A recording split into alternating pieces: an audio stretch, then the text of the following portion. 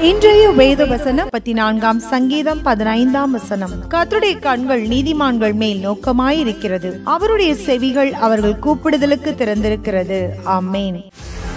Today's Bible verse Psalm 34 verse 15 The eyes of the Lord are on the righteous and his ears are open to the cry. Amen.